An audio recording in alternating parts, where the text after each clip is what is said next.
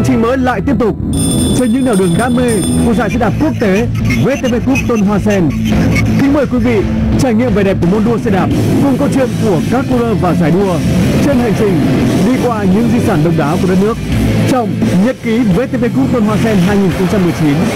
16 giờ trên kênh VTV3 từ thứ hai đến thứ sáu,